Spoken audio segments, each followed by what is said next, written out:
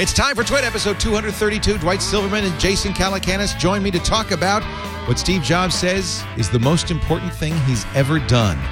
What will Apple do on Wednesday? We'll also talk about Google. Could it be that the U.S. government caused the Google hack? That and more coming up this week in tech.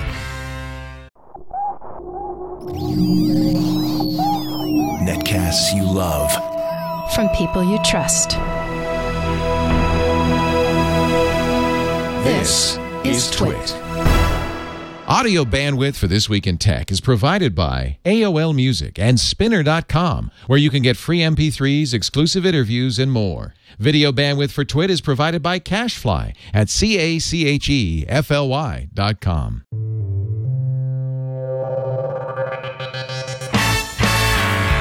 This is Twit, This Week in Tech, episode 232 for January 25th, 2010. Bread and Circuses. This Week in Tech is brought to you by GoToMeeting. Picture yourself with a phone call, sharing and explaining something visual with GoToMeeting. For your free 30-day trial, visit gotomeeting.com slash twit. And by audible.com. To download two free audiobooks of your choice, go to audible.com slash twit2. And don't forget to follow Audible on Twitter at audible underscore com and by squarespace.com, the fast and easy way to publish a high quality website or blog. For a free trial and 10% off your new account, go to squarespace.com/slash twit.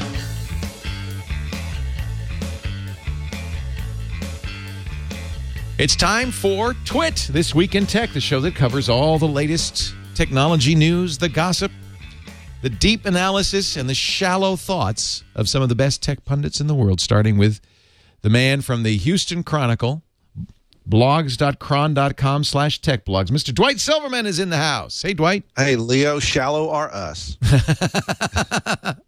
I don't want people, I, I like to lower expectations. I don't want people to think, you know, they're going to get anything in profound here. Just, you know, chatter. This is, this But is, we'll do what we can. We'll do what we can. Uh, Dwight is going to be coming out to uh, the um, big event, the Apple event on Wednesday. So we'll see more of him on uh, the Twit network. I'll tell you more about that in a little bit.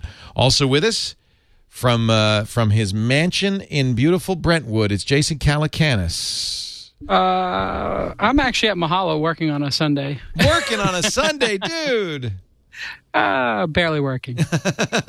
barely. If you Jay- can call being a CEO working, sure, I'm technically working. He's working hard. Absolutely. Mahalo.com, M A H A L O.com. But Jason also uh, does some great podcasts, uh, some really good stuff like This Week in Startups, Oh, going so well. going really well. And I know you work with Kevin Pollak on his show. Kevin Pollak's chat show. What else you doing?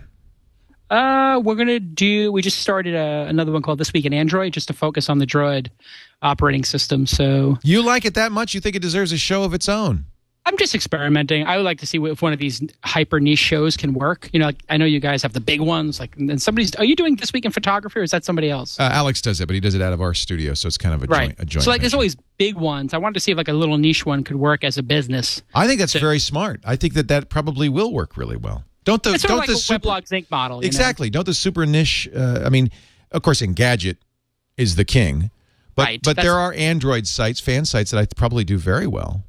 I'm just interested in the whole concept of disrupting the mobile ecosystem. I think it's much bigger than the phone system. I think it's what we're talking about a whole operating system here. So, uh, from tablets to refrigerators, I, I, I think Google has a bigger vision than just phones. I mean, it's obvious they do. They're going to talk about Netflix oh yeah, as well. Oh, and cars. Let's not forget cars. I I think Yeah. that you know this Microsoft Auto is uh, doomed in the long run because Android's going to come along and say, "Hey, we'll give it to you for free."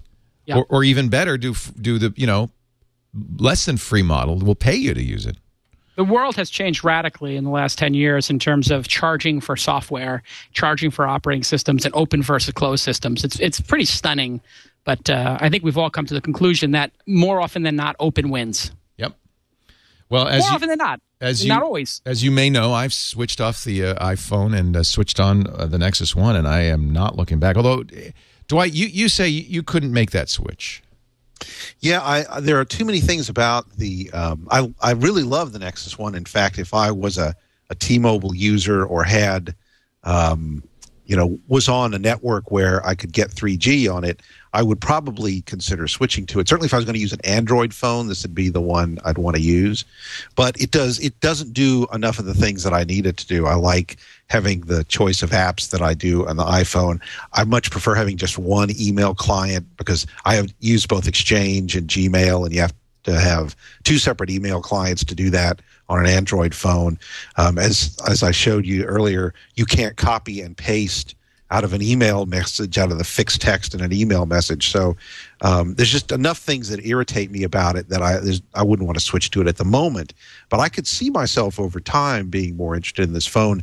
Of course, we need to see what Apple's going to do with the next Yeah. generation of the iPhone. iPhone 4. Well, and, and I, I think, you know, what, what happened to me, yeah, there's a lot of things on both sides. I, I wouldn't be able to, uh, now that I'm used to dictating instead of using the keyboard everywhere, it'd be hard for me to go back to the iPhone. But, you know, the biggest thing that makes it hard to go back is just simply the screen. Once you get used to an OLED screen, the iPhone screen just looks washed out, low res and washed out. Yeah, it's definitely the the screen is a is a killer application at this point. It's amazing the difference, and you wouldn't think something that simple would make a difference. Additionally, the you're already starting to see early returns on the rapid iteration on applications. Mm-hmm. The fact that you can just load any application from any site at any time and do whatever you want with your operating system. I know this is like a broken record for 17 twits we've been talking about it, but it actually is here now, and it's pretty compelling when you can just like. I'm going to go to yelp.com slash, you know, the application name or whatever it is and load it. Right. And there's, there's nobody between you and your, and you, what you choose to do with your phone. Um, I have a Blackberry, an iPhone, and a Nexus One.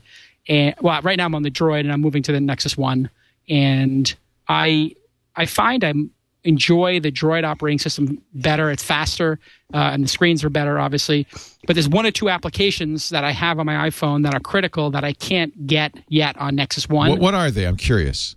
Um, I have I have a very specific one called Remote Patrol, which is uh, lets me look at the cameras around uh, my house that I, and the good. camera I have installed in the nursery, and I have a pan tilt and zo- zoom camera in my nursery, so I can zoom in on the baby if the baby's with a nurse. If I'm out with my wife at dinner, like I was last night, we, you don't have any anxiety because I take literally take out my iPhone, pull up this great program called Remote Patrol. It costs ten bucks.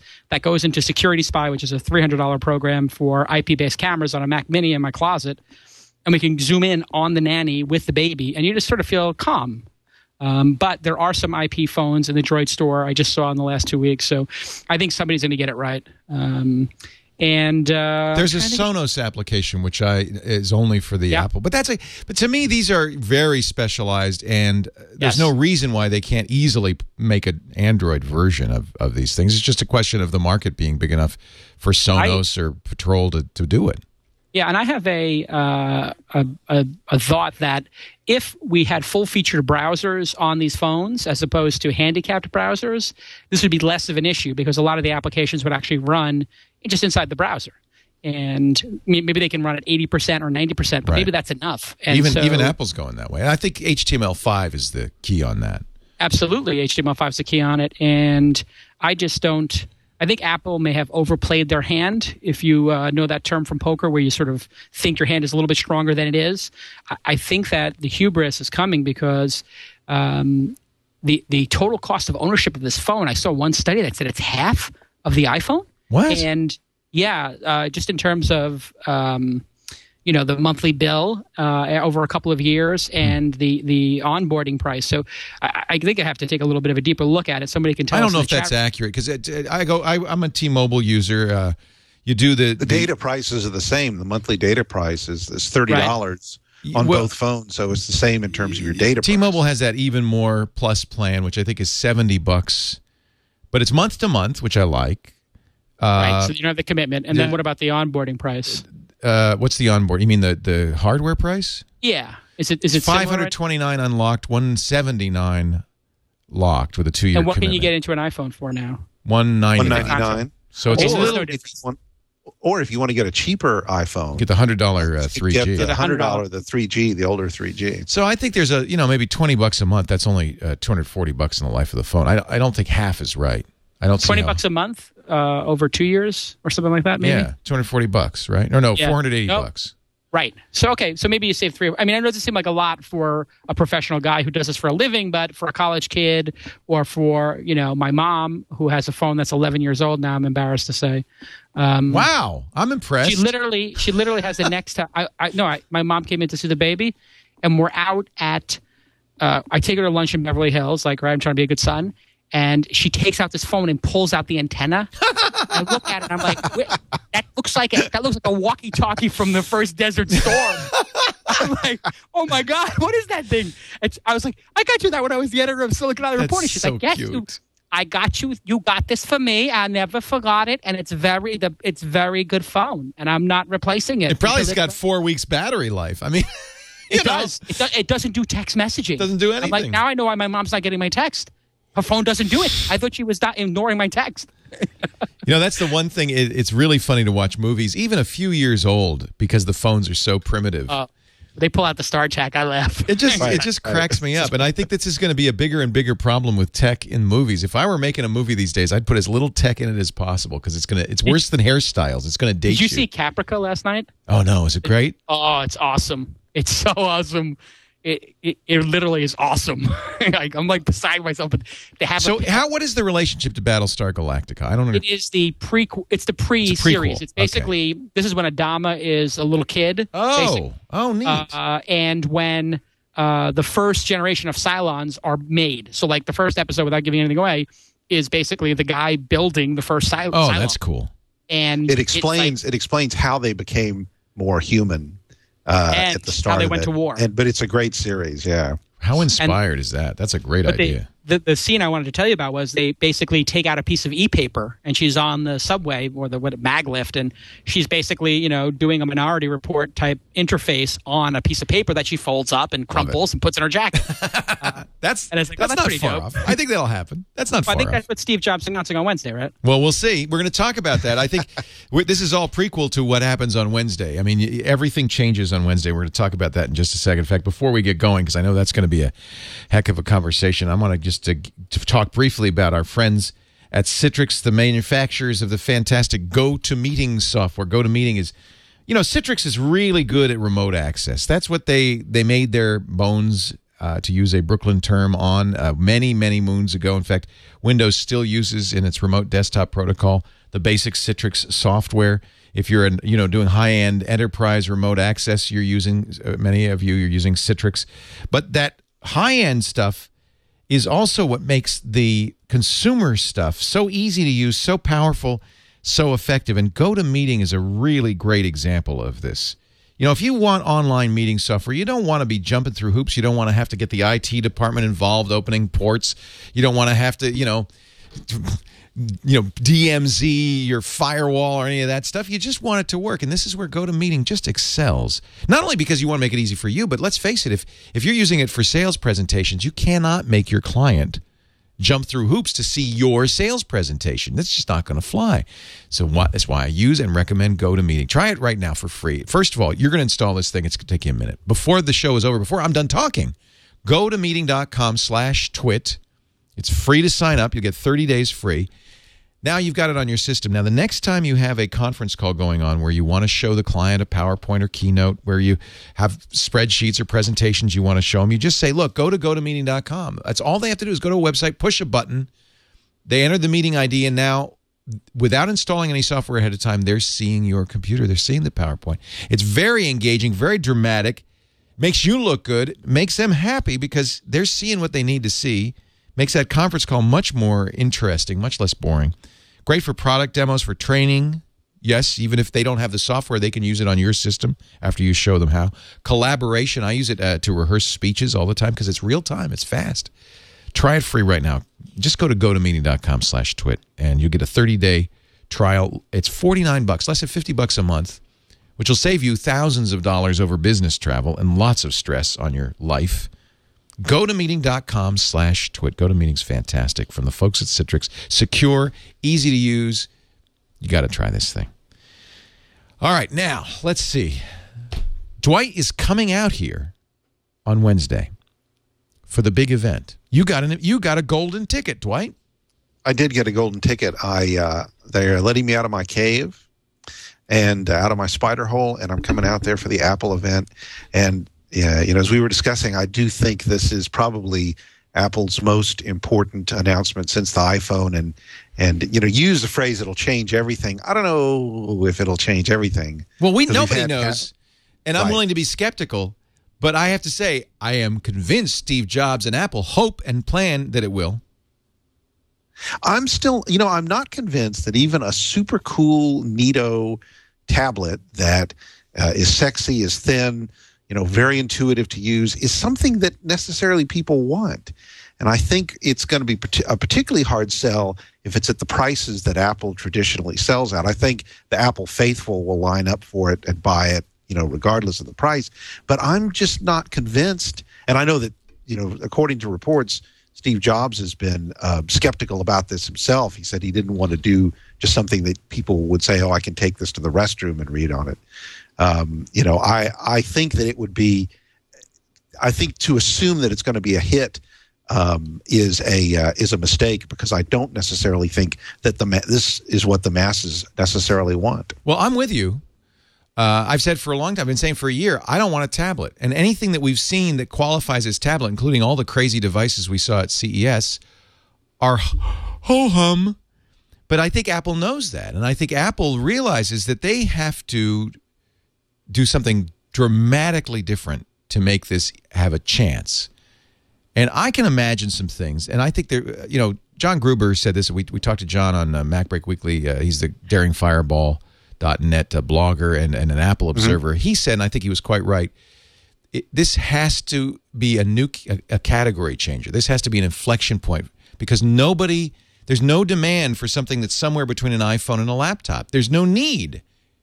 So Unless it was something that was not very expensive and you could keep it on your couch and it wasn't a thousand dollar device, like like the, the promise of the CrunchPad, basically. If it was a three hundred dollar device, you don't think people would buy one or two of them to No. watch movies or on No. a plane? No. no.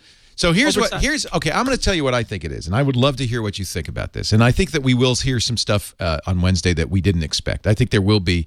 Gruber says there's going to be a aha moment where you just go, "Oh my God, all the pieces were there. Why didn't we see this?" I think it's very clear they're making content deals. I think there's content deals with HarperCollins. We've heard that leaked. Condé Nast, probably, uh, well, all of Hearst, uh, probably the New York Times. Probably so that means it's it's going to be a book reader. Now the Kindle's a very competent book reader, but is not so competent, I think, when it comes to magazines and newspapers because it's not in color and it's very difficult to skim and browse and jump around. A faster color device would solve that problem, especially with a little Apple UI magic. And I don't know what that magic will be, but I think some UI magic could could actually be a breakthrough product for reading magazines. There's nothing like that yet. Very slim, very elegant. I believe it will have an OLED screen. We were talking before the uh, break about how OLED is kind of the killer feature of the Nexus One. Once you use an OLED screen, you just don't want to go back to an LCD screen. Now that means it's expensive. A 10-inch OLED part is 300 bucks in quantity.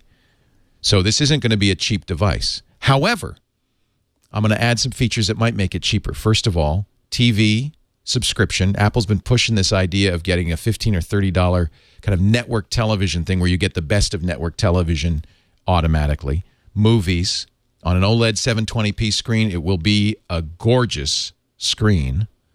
Gorgeous. Compete with your HD TV because it's in your lap and portable. And, and this is the most important part, I think it has to have always on wireless, a la the Kindle, WhisperNet style wireless. I don't think you ever com- necessarily com- connect this to your computer. And that wireless is subsidized and the cost is subsidized by the content creators. So even though it's a thousand dollar device, I think you're right, Jason. They've got to bring it. in. They're not going to bring it at 300, but I think they got they. It's got to be Five, 600, 700. 700 is going to be what it is. All It, right, well, maybe so- they'll do an LCD for 700 and an OLED for 8 or 9. I don't know. But I think subsidy is going to be the multiple models, multiple models, and that way they can offer something that um, you know if you don't want to pay the subsidy because a lot of people aren't going to want to pay yet another you know twenty or thirty dollars a month, you can get it and it won't be overpriced. But if you do, if you want to get the 3G and the OLED, OLED screen, you know you you're willing to pay it. There's been some discussion among the many uh, rumors that have come out from the from the uh, hardware suppliers that they're looking at um, a seven inch and a ten inch, and I could see doing the smaller version as kind of a uh, an Uber iPod Touch. Jason, what do you think? I, yeah, I mean, clearly, based on the HarperCollins stuff and the New York Times stuff, this thing is going to have an e-reader functionality. Uh, you nailed oh, I left out Kindle. gaming. I left out gaming, by the way. Yeah, so uh, this means that it is got e-reader functionality and it runs the iPhone applications if it does uh, games, which means we're probably talking about the iPhone operating system, not Mac OS 10, uh, which means it doesn't need to have the same hardware footprint. Uh, so it could be more like a mobile phone um, processor memory footprint, which makes it cheaper, obviously. Uh, I heard rumors two or three years ago, and I wrote about them, and I may have talked about them on here, that Apple was going to go into the TV business. Right. I remember that. And that and that you were sure would- of it, too. I, well, I got it pretty from like where I got it from is I'm not going to say because of Apple's position and how they do stuff, but I got this from a really good place, and I'll leave it at that. And that they were working on TVs, and it makes total sense because if you think about the Apple TV, Sure. that the, and the Mac Mini, those things could easily.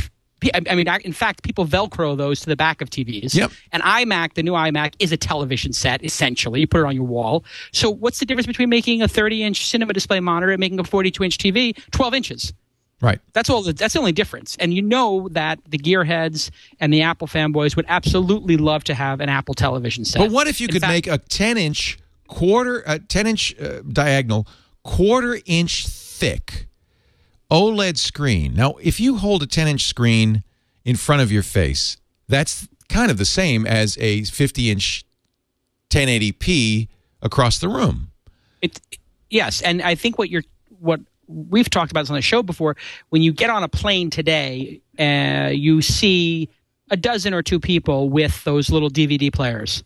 This is a definitive market, portable DVD players. I don't know the size of it. Somebody in the Twit Live chat room should should go do a little research on it. I don't know how many. I think of those they're seven or eight inches. Those are not super big. Right, but you, I mean, how many of those do you see? Everybody with kids has those, and then you see another couple of dozen people, on, or a dozen people on every flight. With you see kids with an iPod Touch watching a Disney film, watching a Star Wars, Clone Wars, something like that. So it's it's a natural evolution that there's a younger generation that would like. I agree with you, your premise that they would hold their television Yep. and watch it that way. And if it had a stand in the back that made it stand, as opposed to a third party stand, that would be a very Steve Jobs ish, you know, uh, feature to add. So I, I think the media player with a subscription and an e-reader is, is, is as close as we're going to get without seeing it. But yeah, it's it's somewhere in that kill zone. It- Is that enough? I mean, you're an expert on content. Is that enough? Um, you know, anything Steve Jobs makes is going to be intriguing. We know that. The It's going to be is- gorgeous, right? It's going to be gorgeous. The Kindle is a is a is a is a total success. Uh, in, and they shipped more ebooks than they did um, uh, regular books on the couple of days in Christmas. Uh, It's a little bit of a misleading stat, but uh, that, I think that was sold through Amazon.com, not in stores, obviously. So ebooks are a definitive trend. Apple is a natural for the ebook category. Why they're not in it already is peculiar, and why there's no ebook reader on the iPhone that they produce is a little bit weird, don't you think? So obviously they're saving that for something. It, And it it's needs to be bigger. Plus, plus, And plus. it- E-reader plus, plus, plus. And that's where OLED, I think, really does well. It is a lower power screen, particularly crisp, very legible, very readable. And it's not. And now it's not great in daylight. It's usable in daylight, but but not great in daylight. So the Kindle, you might keep the Kindle for your daylight e-ink reading, but I I do think that this is perhaps a compelling device, especially if you think of it as a content device. Now, here's the interesting thing: Do you put a browser on it? Maybe. I don't think you put email on it. I don't think you put, you know, you, you put an on-screen keyboard, but just to be used as a Kindle keyboard is used to find content. I, I don't think- think, it's a Why don't you content creation. I think it's a, co- it's why consumption. Because I don't. I mean, if you can if you can do email, why not put email? If it's going to be the iPhone OS, which which has a very nice email client, I think email is a natural. I think you definitely put a web browser on it. Yeah, well, I mean, remember we're dealing with Steve Jobs. I mean, why wouldn't you put cut and paste on the iPhone? Right. I mean, it took it took a year. I mean, he, it's quite possible he'll leave a browser out for now, and then he'll get you know beat up into doing it, just like he got beat up into putting a second, you know, uh, But uh, why button on wouldn't he mouse. from the get go? I don't. I don't see Simplicity. the Because he's logic Steve Jobs. Simplicity. He wants I think. simple, I yeah. think what I think you're selling this as a crossover device. If you've got a laptop and every, you know, you don't need this.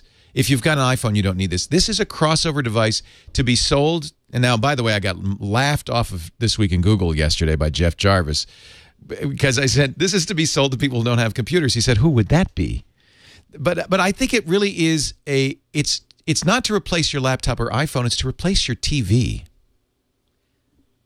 Yeah, and and for people who want to read books and magazines on the on the train, Right. you know, there are a lot of people like that in New York City who maybe are not using their computers to consume their media. It's- it's on this your- will be it's- their first shot at It's it. in the bathroom. It's on your breakfast table. It's on the it's on the subway. It's on the train. Uh, This people will use this device if it's the right price. It's not going to be the right price out of the gate. So I think actually that's where that's that's the only part of your logic I don't go for uh, Leo is respectfully is that you I think that they will go at a high price like they always do, get you know us suckers to buy it because we have to have it, and then you'll see it available at ninety nine whatever a, two ninety nine next uh, at Christmas time. So it's going to come out at six ninety nine, and by Christmas it'll be two ninety nine with a subscription. I don't think now, they can sell a compelling device. I think that uh, this is you're right. These are this is this. There's two sticking points that are huge. You got to do the content deals, and right now, you know, if you look at what TV shows or movies you can get on any of these places, it's like who wants to watch that? So that's problem number one. They have he has to get you know he'll get Disney, but he's got to get everybody to play on this. And number two is how do you how do you make the price low enough and yet make the make the hardware compelling enough? It has to be What gorgeous. if it has a what if it has a PVR in it and a digital tuner where I can plug it into my TiVo or my satellite dish and I can record stuff to it and then take it on the go? I think it's too It's complicated. Apple TV. You're silent. You're silent, uh, uh, uh, Dwight. If you can plug it, unplug and plug it. I think that um, I think that Steve's going to work really hard. This is why I have this issue with email and browser. I think Steve's going to work really hard to make this a super simple device.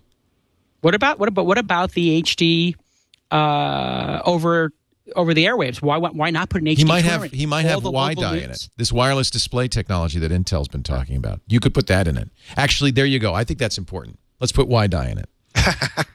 Well, it also has 802.11n, which means you could easily stream HD content. That's over basically Wi-Fi. you saw wireless. Well, you, you weren't at CES, but wi- Intel was showing this wireless display technology, which basically that's what it is. It's Wi-Fi, but it's but you get a receiver from uh, D-Link or yeah D-Link that attaches to the TV, and then the laptop and and Dell's doing this and HP's doing this. The laptop will stream to that receiver, so it's just a simplified thing.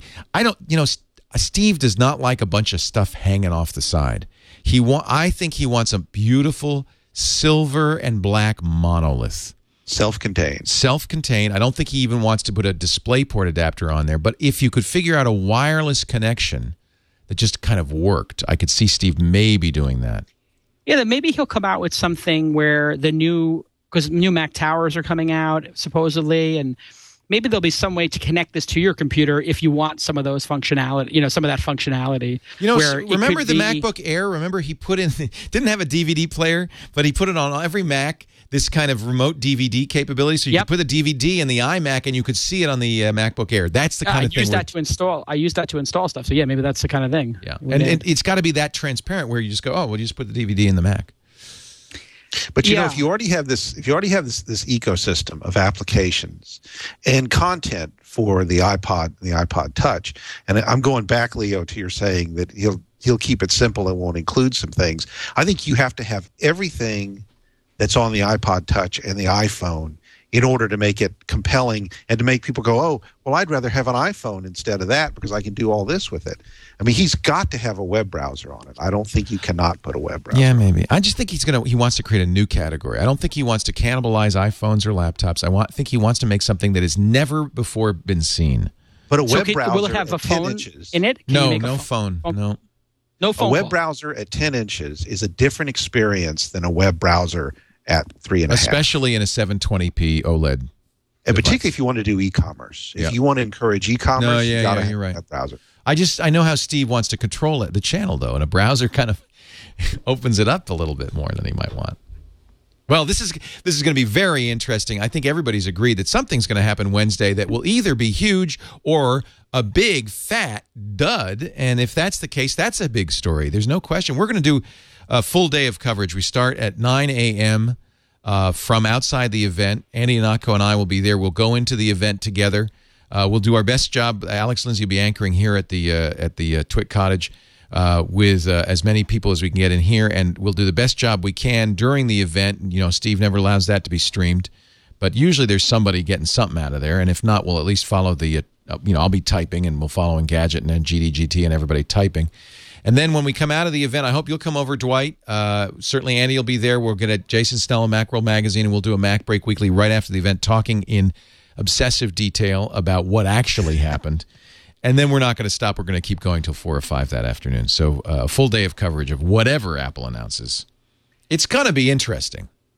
It's gonna it's gonna be a huge day. And uh, are do you know anybody who's actually claims to have seen anything on the QT? Nope. Because we have people in this in the twit circle who you know will say like I can't uh, off the air. I did see something. I do. So Nope. none of those people. You don't have like a Kevin Rose whispering Nope. in your ear. Nothing. There has never been a tighter lid. The only problem they've had is these partners. And I think even the New York Times is being a little disingenuous when they say, "Oh, we're going to do this next year." I, I, Yeah. I think they. I think this is one of the tightest lids ever, and I think that's because Steve Jobs, the man who is the king of this, has Is back. Is back. This is his. It may be his last. I hate to say that, but this is very important to Steve. They've been. We know they've been working on this for seven years since 2003 this i think steve sees this as every bit as important as the macintosh this is a big announcement for steve and i don't think he i think everybody at apple knows your nuts are on the line here this isn't just your job you're going to lose a body part if you say word one. You know kevin asked for all the rumors. I don't know if you saw this. He said let's do a Yeah. roundup of all the rumors. I haven't seen anything. He didn't Right, post and it- there's no And, post. Gaw- and Gawker did the whole uh, Gawker offering to pay nothing? people to break their NDAs. hundred thousand Break the dollars law. nothing. And, you know, if if um, if this is is a dud, uh, and it doesn't produce something, you know, you said it, it'll be a big story, but kind of what does that what does that say for Steve Jobs if it doesn't if it doesn't score? I, you know what it said? It said, well, what it says is Steve is willing to swing for the fences, and he always has been, hasn't he? He's a gutsy guy, and I think Steve is not satisfied with anything less than excellence. Super. What's the What's the last dud? Was it the Cube? I mean, when's the last time he? re- We'd say he did something that was like embarrassing or just bad, just bad. I think the iBook, the first iBook, was pretty bad. I think the Cube was not his fault. That was pre-Jobs. was uh, it because I thought that he loved that thing? Or maybe he did. Maybe that was Jobs. Yeah, I thought that was his. because he wanted That to get was rid of the fan. Remember, he like he was like, I can't you're stand the fan. Nobody wants a fan. Nobody wants a big computer. Everybody wants an object of art on their desk, and everybody's like, I think you can make the case that the NeXT Cube and the Apple Cube were uh, successful as concepts, just they didn't sell. Um, the iBook And the Mac, sold well. the Mac Mini is the, The Cube Mini? just flattened. yeah, minis and the, you know Apple TV is not is kind of that's a, a flop. that's a flop. And Steve but Dep- they Steve- they Steve- deprecated that. He, I was going to say Steve deprecated it, saying, "Oh, it's a hobby." I don't think Steve ever had his heart and soul in that thing. what about mobile? Yeah, that Me? was weird. I mean, why did they come out with the Mac Mini and the Apple TV? It, it makes no sense because I was talking to somebody yesterday who has the Apple TV, and he's like, "Yeah, I just can't pull up a browser. I can't do this, and I can't pull up Hulu." And I'm like, "I go on my Mac Mini now, Right. and I I will load Hulu or Netflix in Much the browser. better. Much better. Much- it's such a great Boxy experience. running on an Apple TV or XBMC or Plex running on an Apple, uh, rather on a um, uh, Mac Mini is a is a great experience. It's just that and, you the can, connectors and it's more are a little- extend, it's more extendable. You know, you can you can upgrade your Mac Mini even though it's difficult. But I mean, it's got all more ports and all that kind of stuff. I don't. I, I just don't understand that product. No, uh, it's not that Steve is perfect. He's you know the app the iPod Hi-Fi that was a. In fact, Oh right. th- this could be that. I went to Cupertino for the big Steve Jobs announcement that was Apple's iPod Hi-Fi, in which he said, "I wanted the perfect stereo system. I've thrown out my stereo system for this." And socks, iPod socks. And this was the announcement, and I, I went out shaking my head. So it's clear that Steve could, you know, he could swing for the fences and whiff, but he hasn't done it often. And and you got to say, there's no one in the industry who has four major successes: the Apple II, the Macintosh, the iPod, and the iPhone. There's no one with that kind of success, and this could be his fifth, and that's enough to rest your laurels on. Yeah, I mean, I don't. I don't think anybody could ever say he's not the greatest technology product producer ever. Maybe Sony and you know Sony in their heyday, Apple today are the two best producers of hardware on an innovation level. I mean, the only other person with innovation would be like some of the labs, you know, that existed in the '60s and '70s. right? Sure, sure. I mean- Be- Bell Labs and uh, Lucent, and then uh, of course uh, Xerox PARC. Yeah, I mean those. But that's, but that's a research facility. I mean, I guess he, Well- in some ways, he has become the heir apparent to that. Well, uh, well, look what happened. as He went to Xerox PARC. He saw what they were doing, and he productized it. He made now he had the Lisa, which was a flop, but that was the precursor to the Macintosh, which is anything but a flop. I mean, he was the guy who productized that. So, Yeah. he- you know, he Xerox PARC famously created a bunch of great stuff which they never were able to ship. Yeah, I don't know. I don't. I. I. ju- I. I.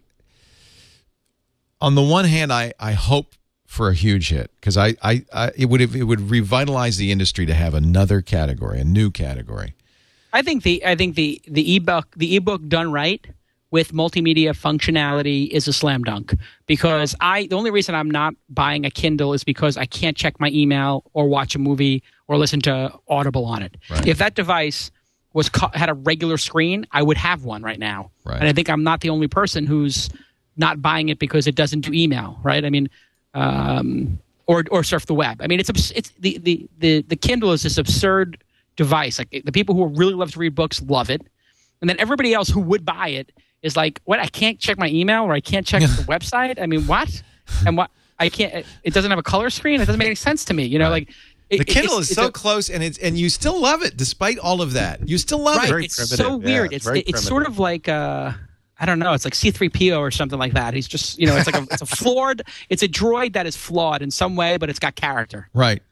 One of the end, one of the most fun things about this will be is you know at the end of Apple events, uh, they'll sometimes have the executives sit down and do a short Q and A with the press, and I'll ask it, or, or I'm, sure, I'm sure someone else will will ask if, if they bank heavily on uh, content from books and magazines and newspapers to say to Steve Jobs, "Okay, Steve, I thought people don't read anymore," and see kind of how he He said that, didn't he? He did say that. That's why they. He, that's why Apple wasn't doing an e-reader. Because Do remember though that Steve Jobs also said, "I can't imagine anybody watching video on a little screen."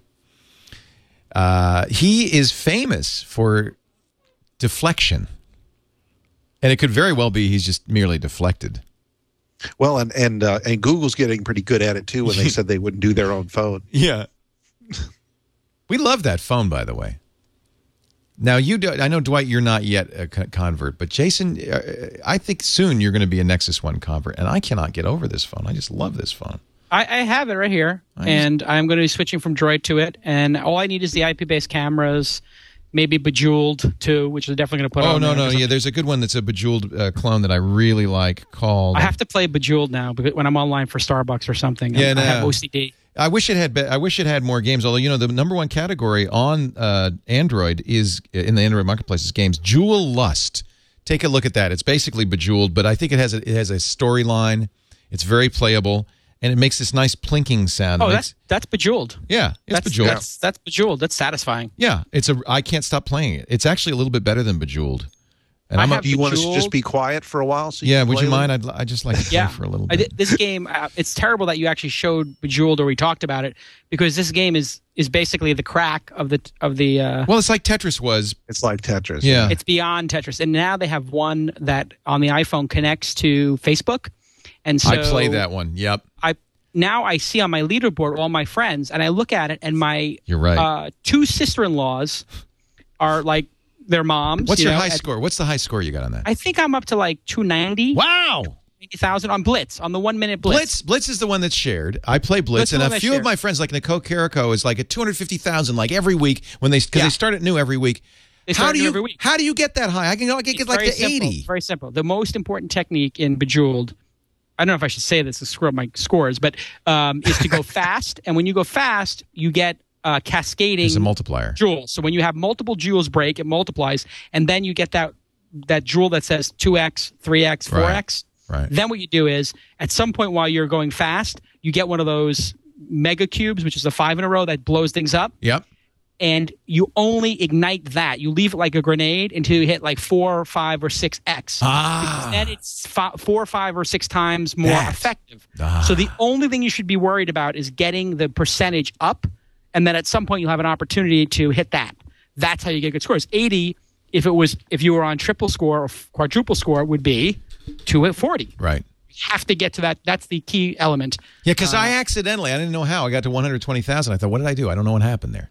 Right. It's it's the multiplier. It's but the anyway, multiplier. It, it shows why Zynga is doing so well because now I'm in a competition with my two sister-in-laws every week. Yeah. You know, and I'm when I'm basically you know in a commercial break if I'm watching TV and live, you know, I've I've turned this I've been on. playing Blitz too. I love It's that. addic- Yep. It's bizarrely addictive. But that's this is this is why I think a tablet with gaming, that kind of social gaming. Yes. I mean, I just It's- I think this is going to be that. I Steve, look, Steve's got to look at all of this social. Uh, what do you what do you call this? Social Social gaming. Social crack. Yeah. Social This crack. addictive social gaming. He's got to. He's not stupid. He's got to be looking at this and realize how powerful that is. Right. And so basically this is a Nintendo this is this taps into the Nintendo Wii effect, which is your sister-in-law, your mom, my mom, your, your you know what your if you could get Farmville? Oh, so Mark Pink. Oh, can you imagine Farmville on a 10 inch tablet? Oh. That is the killer. I think we oh. figured it out. That's what Steve Jobs is going to announce. Is oh. you got like a 7 inch farm or a 10 inch farm, and it's going to be subsidized by Farmville. I think we just hit it. That's it. it's the virtual currency in that. That would be pretty epic if people just be like, take out their farm and they got people on the subway, not reading the New York Times, just planning a farm that is meaningless. That's, That's the end of society has come to. civilization. It's the end of civilization. It's the end of this network. If you don't hear a Twit episode for a month or two, you'll know why. Why? It'll be Leo and I are playing Bejeweled on a 10 inch screen with a thousand gems I think we've hit and it. trying to beat each other's scores and getting nothing accomplished. I think we've hit it. Theo, this is we're in an economic tesseract, and you need to not be This is promoting the this kind of worst thing. It'll ruin the possible time. It would be Steve Jobs. He'd be like Oppenheimer. Now I am death. He will be like the guy who invented the atomic bomb. And, and and but it was an economic atomic bomb. And and in 20 years, when when we're just living in rubble, and nobody's producing anything, and everybody's just looking at their tablet, going, "I need artichokes." We'll know. Mark Pincus and Steve Jobs collaborate to end the world. Uh, It's the end of civilization. it's Sort of like. Idiocracy or WALL-E. You know, like in WALL-E, they're on those those floating. You know, Right. That's exactly what it is. He must- He saw, doing nothing. He saw WALL-E and he said, "That's it." That's it. The Pixar guys gave him the vision for the future. Im- art imitating life or life imitating art. You decide. Oh my god! I think you know what? That's the final, the final jewel, just clicked into place. Social gaming on that tablet. It would be pretty amazing, actually. When you There think some about the social. effect There are some that, like Wi-Fi games. If you're in, on the same network, you can play. Like there's an air hockey game for the iPhone, and uh, but the problem is, is that you have to be on the same network. If you could do something at that level, What if- that fast, What if that the uh, tablet turns into a tennis paddle? Be People be swinging their seven hundred dollar tablets. That thing flying no, out of your no, no, no. Bad idea. Bad idea. somebody that kills Bad idea. No, this is like Surface. It stays there. What about um, Steve Perlman's OnLive company? Yeah. where he, you know, uh, we've we talked about this. My friend Ryan Schrapp, by the way, he got a DMCA uh, cease and desist. Uh, I have to ask him about this from uh, OnLive because he, he was a beta tester and did, all these reviews and really great videos and really was great. And he's been told, take that down. You can't do that. You can't report on I it. hear it's sick. It's well, it's really interesting because the idea is you could do a, a low end device. In fact, one of the devices they show looks a lot like an iPhone attached to a TV or a better a good display, and then over the internet it gets the game, and the game is rendered uh, out there in the cloud where you have faster computers and Yep. sent to you. Now, what if this? What if something like that is built into this thing? Um, yeah, that would be very interesting if the mainframe style computing was done over the network or something like that. But I, I don't know that it's necessary because he's got this huge library of casual games. Right, casual games that- are it. Yeah, the casual games don't require that much, and you know that the processing power in the you know the the mobile processors are going to double and triple, and you know it's it's sort of they're, they're gonna they're good enough now. They're only going to get better. What about uh, DRM? Will there be DRM in this copy protection? Has to be. Oh, right? sure. Has well, if be. he's doing the macro, if he's doing the iPhone application, it is. right, Yeah. it's built in. So, and it's pretty clear why why would he go and put Mac OS 10 on it? You know, it makes it more complicated. Yeah, no, you don't put OS 10 on it. And you know, some of these uh, these mock-ups have a dock. No, no, no, no, no, no. It's I No think it's simpler That's- than an iPhone. It's it's just boom, simple. You know, you you would mention the idea of of going going to the cloud for a lot of the computing for this. You know, uh, Apple is uh, building that uh, data center yeah, in North Carolina, Yeah. And so, um, what if you, you know, what what if that was kind of the farm for a lot of the stuff that they were doing that was offline or online rather? Well, we're go- we're going to find out Wednesday. I'm I think this could be huge, could be the biggest dud, and we will talk about it next week, and we'll talk about it. I'm calling it our obsessive compulsory coverage all day Wednesday from uh, 8:30 or 9 a.m. till the till we can't talk anymore. Uh, right, right here. So your voice is so hoarse that you cannot utter the word Steve Jobs. I, and uh, I found it, Farmville. I love it. It's Farmville. delicious. I can't stop playing. It's amazing.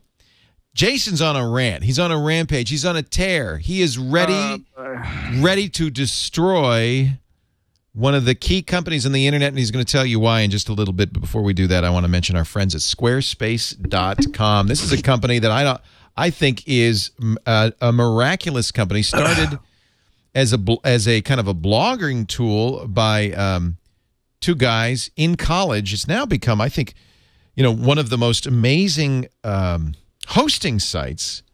So it's both hosting, it's a hosted website with incredible software. That's that's the combination we're talking. I want you to go to squarespace.com slash twit. You could take a look at it uh, right now. In fact, you can try it free. It, it makes it very easy for you to take your existing site, whether it's a, a, a blog with movable type or TypePad or Blogger or WordPress, and move it over. If you've got a photo site, it's oh, the, you'll love the galleries, you'll love the templates, you'll love the ease with which you can take these professionally built. I think there's 50 professionally built templates, and then customize them so it's unique. You know, it's always been this kind of uh, push and pull between having professional templates, but then having every site look exactly the same. Squarespace has totally solved this because they give you the great start, the incredible templates, but then you go from there to make you know make it your own to customize it with this very easy drag and drop Ajaxy customization. And the hosting is great because it's v, it's the virtual hosting that they're doing means that whenever your site gets hit, they can add bandwidth easily. You never run out of bandwidth. You you just it's it responds to being dug or slash dotted like nothing. And SEO optimization's automatic. Stats are brilliant. Jason, you were going to say something? I, I was yeah, you know, I've been I've been tracking this company for a while. It's a New York company, and I'm looking at the examples on their site. If you go to the examples Oh, tab, just- and Look at 'em. it- this is really interesting for businesses. You know, you used to hire a firm and pay what what, what would you pay twenty five hundred bucks? More thousands, tens of 5,000, thousands. 5,000. Yes. I mean, yeah, but even if you're doing like a mom and pop store, you know, yeah, maybe you get your uncle, cousin to do it. Your cousin knows somebody. You pay three grand or five grand, and it's you can never edit it again. And that person goes off and becomes a lawyer, and you never hear from them again. Like this is the sustainable solution for fifty bucks a month for a business, or thirty bucks a month for a business, or for a band if it wants to have a professional site. Absolutely. Um, and you get support and all this kind of stuff. They got an Social integration. Oh, the iPhone app is incredible. I mean, I have to say, Yeah, that's three a- years ago, these guys applied for TechCrunch 40 back in the day, and they had already had the product out, so it sort of wasn't qualified for it because you know you have to launch the product brand new. But I, I was very impressed about it three years ago, and they've really. Ex- it- it's it's really a high quality product. Oh, I think great. anybody who's building a business site should very much consider it. I mean, and for ten bucks a month or twenty bucks a month, whatever they're charging, I mean, it's nothing for what the value you get. So before you go spend the four or five thousand dollars building the site, you should try doing it yourself for thirty bucks. If you look at the uh, uh, topically the Yale uh, Haiti site, imagine the traffic that this has sustained over the last two weeks for the, uh, the earthquake fund on Squarespace. Never down for a moment. You know, uh, Marc Ecko uses it. Um, I mean, I, just look at some of the examples, and the thing is, they all look different. They all look unique. They don't look like somebody kind of you know uh, templated a site, and yet it's so easy to do, so straightforward. You're just gonna you're gonna love Squarespace. Why don't you try it free? Go to squarespace.com/twit. Ten percent off if you decide to buy, but you can get to two weeks free right now. No credit card needed or anything, and uh, it's just if you're thinking about building a site, you're right. Uh, a small business or even big business, a lot of big businesses use Squarespace now. It's just a great choice. Squarespace.com/twit. Give them a try. Um, I, I think you're going to like it. So, Jason, you know, I got your newsletter, or your you call it a newsletter? Your email, I guess. I, I'm old school. It's my email newsletter. Yeah, I just email it to nineteen. It's nineteen thousand people now. It's kind of ridiculous. It's fantastic, uh, and it's free. Is it still free? Can people just sign up? Yeah, it's free. You just I- you go to if you go to uh, bit.ly slash Jason's list. There's a form. I put up a little Google Doc. I import it every couple of weeks, and uh, you know, like a thousand people seem to sign up a month. I've been doing it for a year now. I, you know, this is what kind of replaced your blogging. Although occasionally you will do, I know, with something like this, Short when it's post. a big story, you'll put a put it on the blog as well. I have to put it on the blog now, so I, I send it to my email people first, and then maybe a couple hours later, when I you know get the time between changing diapers, I'll I'll, I'll put it on the blog. How is the baby, by the way? it's I have to say like it's of course it's life changing, but it's it's one of those things where people tell you this is amazing and it's not overrated. No, It's underrated. It is. But people say all the time like this is the greatest thing ever. Oh no, you don't know. And I'm like yeah, I, I just sat there this morning. I had like that alert time for an hour with her, and now she just the last week has started giggling, you know, or, or just smiling. And I'm just sitting there for an hour staring at my daughter, and she's laughing and We're- giggling. And I'm just like, my life is Yep. complete. My I, I- I didn't realize how uh, how much more there was to life until I spent time with her. you can't know. And and, and ev we're all dads here, and and and we've all. I'm sure Dwight, you've had this experience. You see somebody who's about to have a baby, and you just you just kind of shake your head. You cannot communicate what is about to happen. You're about to walk through a door that will. Everything's different. It makes that's you a better person in ways you have no idea Yeah, is coming. yeah, it's really true. So congratulations, Jason. I'm glad you, I'm, you're getting some I'm time. loving it, and yeah, uh, that's wonderful. Everybody told me would take my I would take my edge away, but I I, No. still have this thing where when I see somebody getting bullied, You're still a son of a bitch. I, you know, I, I if I see a situation where people are being bullied, That seems to be your new thing, isn't it? Because It is. you I did that with the think- with the angel funds, and now with I this. did it with the angel funds, and I'm doing it again now. And Jason's list: why we should boycott ComScore, and perhaps why traders should short their stock. That's the incendiary thing at the. it's pretty incendiary. Except I'm I go on to explain like I do not own any stocks. I do not buy stocks. I know nothing about. I was stocks. surprised to see that you only have bonds and angel investing.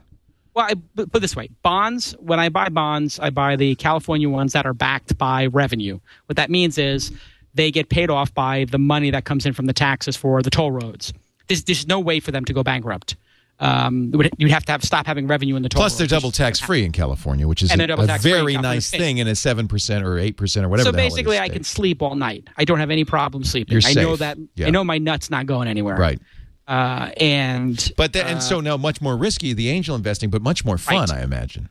a lot of fun. I did four last year, and I'm going to do ten this year. I typically put twenty five thousand dollars to work or fifty thousand dollars to work. It's not a lot of money for for me at this point in my career, but it is. Um, Oh, it's huge for the the company you're investing in, not just for the dollar, but because they now say Jason or or Kevin Rose. I know you do some stuff with Kevin. They they can say your name, and that carries a lot of weight. I, I I guess it does. It's kind of flattering. Definitely does. Yeah, But I think that the bigger value is that I'm a product guy, and I'm I've been got my my my butt kicked many times in business. I've been through the I've been through the war. You know, I've laid people off at two companies. I, I've just I've I've got you my have a ass kicked so lot many of times. knowledge. Yeah, that I can just I, I basically give it myself when I said, listen, when you can't talk to your spouse, when you can't Right. talk to your board, and you can't talk to your employees, Right. call me Been there, done that. Yep. because I have been there, and it's Yep. the loneliest thing in the world to be an entrepreneur Oh, sometimes. I can imagine. And you, well, you are now. And so think about the times when you know when the bills at Oh. Twit or you know the money wasn't coming in, and your wife or your kids need stuff, and you're like, I, th- maybe this is going to work, maybe it's not. You know, we had great advertising for uh, two months, and now nobody's calling us back. You know, th- these things happen in every business, and it, it's it can I'm be. calling uh, you when it does, Jason.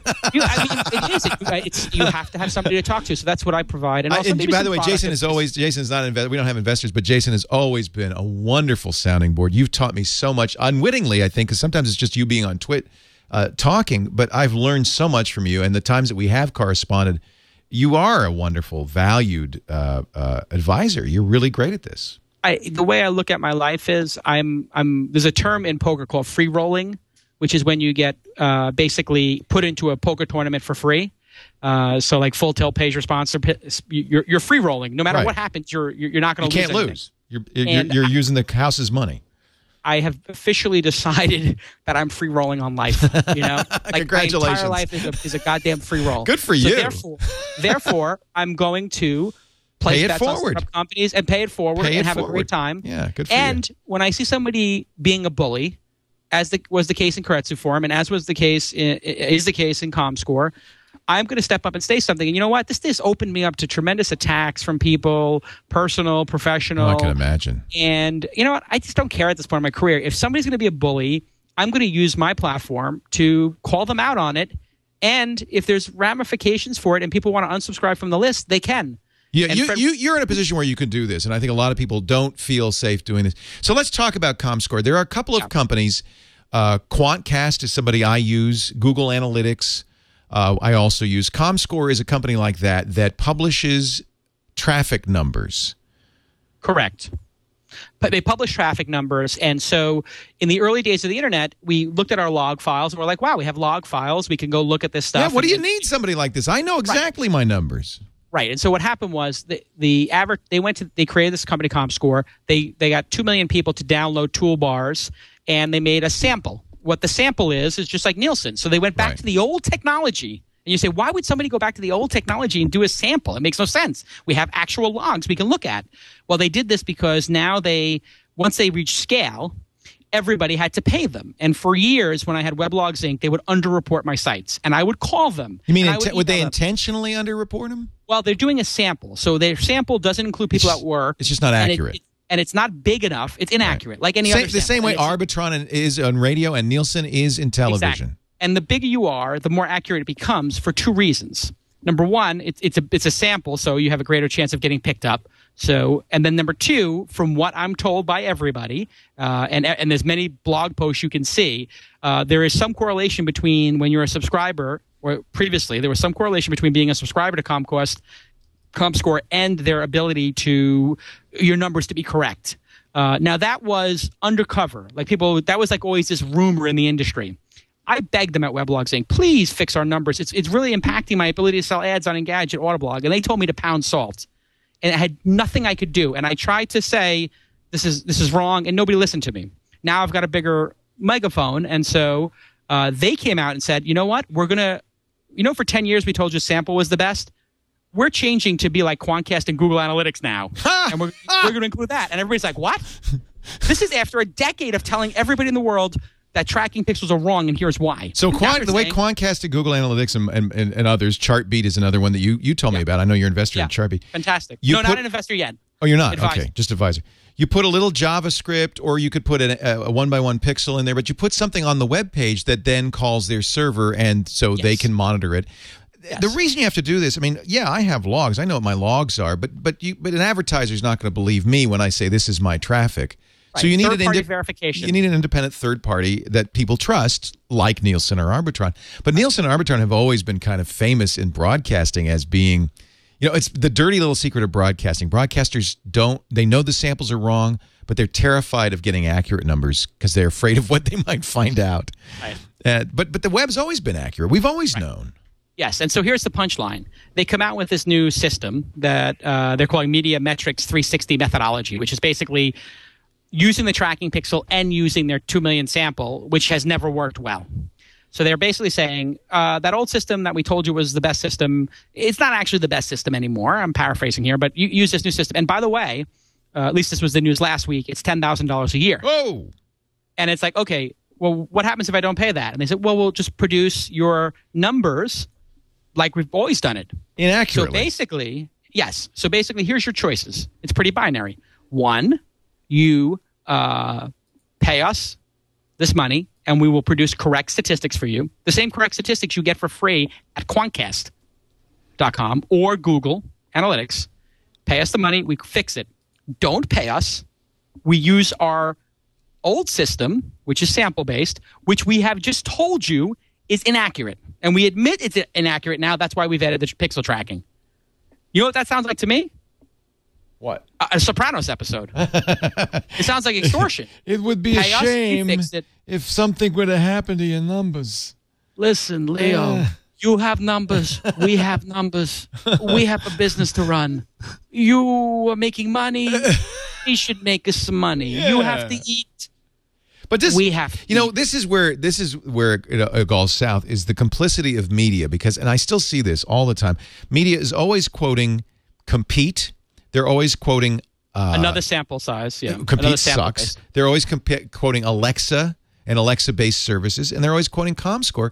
And, and we all know because we know what our numbers are that these don't relate to the actual numbers. And yet Right. the media reports these numbers. Which is what I've done. I've begged people, please, journalists, bloggers out there, do not use these numbers because you're it's self reinforcing. But now we have Quantcast that's out there, and Quantcast is crushing it. And if you go there, Good. Good. I love you- Quantcast. If you look at the top 100 sites, top 200 sites, you see this thing quantified. So they do a sample, and then they also do tracking pixel, and you can start you're starting to see that out of the top 500 sites. Like I think they've got a third of them or two thirds of them have now done it. right. ComScore is about to go away. And this is where I was getting at. I think that their their their stock and their company is going to go away because you're charging for something that is now free. It's the same thing with Google Analytics. Who's going to pay Right. for Omniture if Google Analytics is for free? Uh, and so uh, I basically unloaded on them and said, "Listen, I, I I'm gonna I'm gonna do this the same way I did it with Keiretsu. We're gonna do it the hard way, or we can do it the easy way." I, I, I basically laid out the demands and I said, I want you to stop charging companies or go to a freemium model, but you should be committed to giving everybody the same correct, best methodology for statistics, regardless of if they're a customer of yours or not. Yeah. And I think that's completely reasonable. Absolutely. And uh, some Now, people are now, when out you, about it. and- Dwight, Dwight, you must quote uh, site numbers. Do, do you have any policy about which numbers you use? What is the at the Chronicle? I think the case with with a lot of journalists is they get who's who uh, gives it to them. The they get a press release.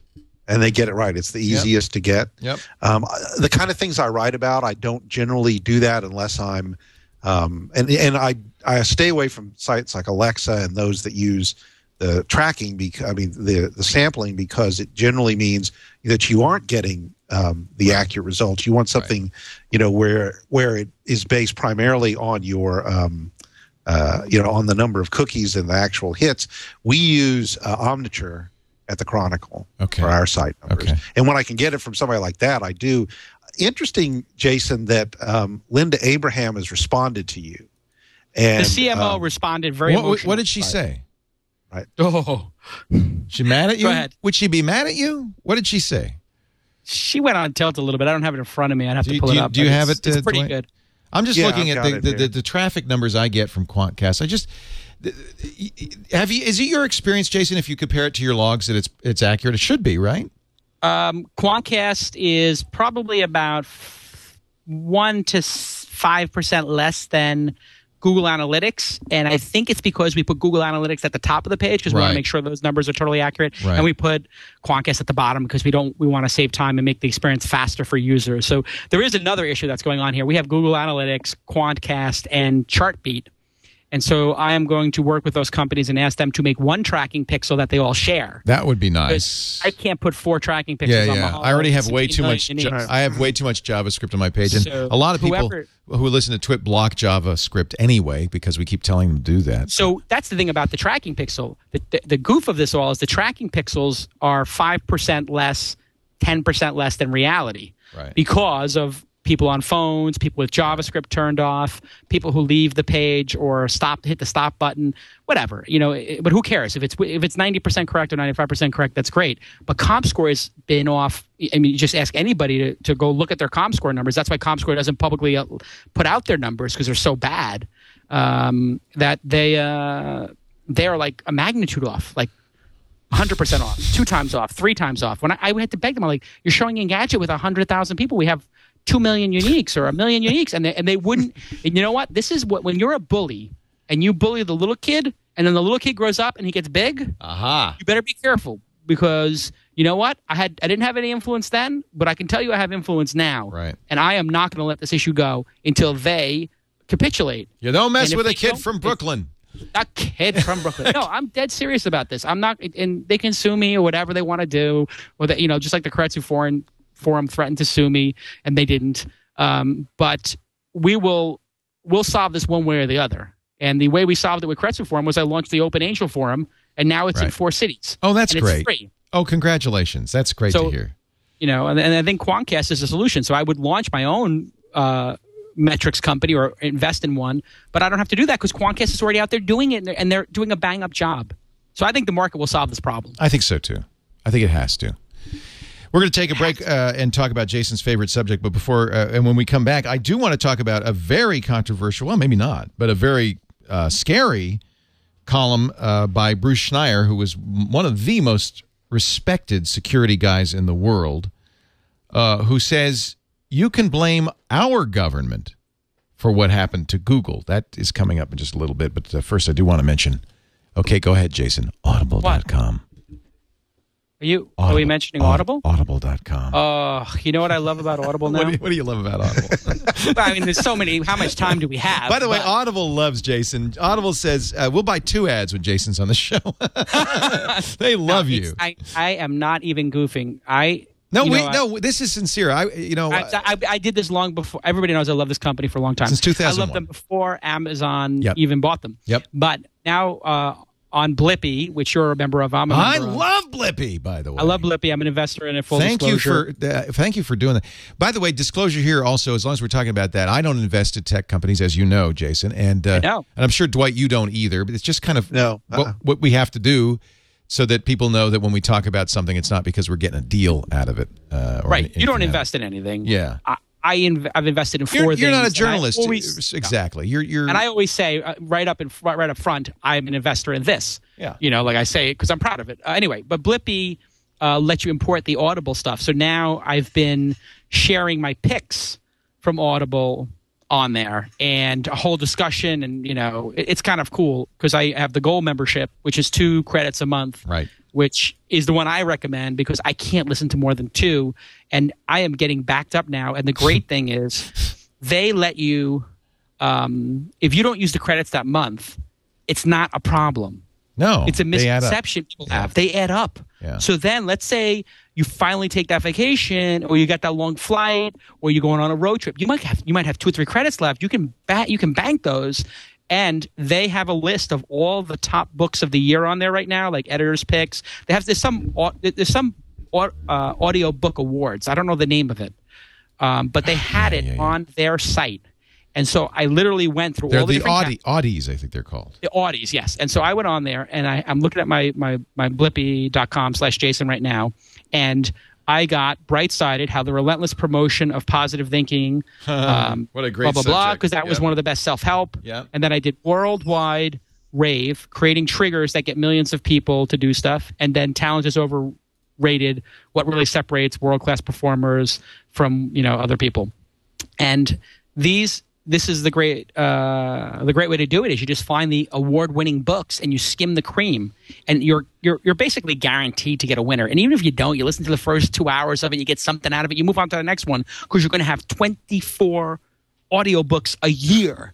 You're going to have a library. And you know I, my wife now listens to the ones that i'm done with.